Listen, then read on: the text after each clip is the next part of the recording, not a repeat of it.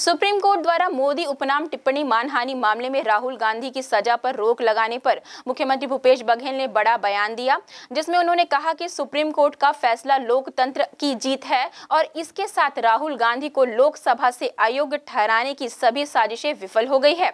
वे उन्हें संसद से दूर रखना चाहते थे, क्योंकि वे सवाल उठाते हैं। हम सुप्रीम कोर्ट के फैसले का स्वागत करते हैं और उनकी अयोग्यता रद्द की जानी चाहिए। सुप्रीम कोर्ट का फैसला लोकतंत्र की जीत है। यह फैसला उन षड्यंत्रों की हार है जो उन्हें लोकसभा से, से बाहर करने का किया था। संसद से दूर रखना चाहते थे क्योंकि सवाल पूछते थे। इससे सत्ता में बैठे हुए लोग परेशान हो जाते थे। एक बार फिर राहुल जी संसद में होंगे और फिर वो सवाल पूछेंगे। जो लोकतंत्र के लिए बहुत ही ज़रूरी है। तो सुप्रीम कोर्ट का फैसला, उसका हम सब स्वागत करते हैं।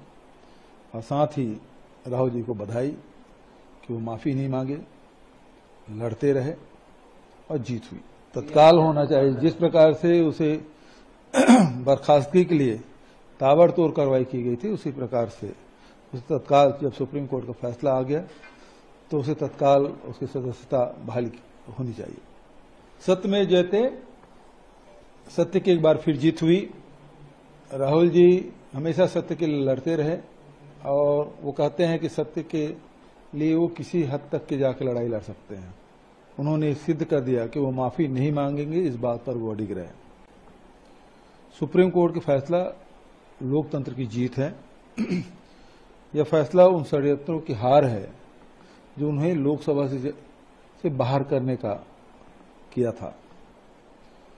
संसद से दूर रखना चाहते थे क्योंकि वो सवाल पूछते थे।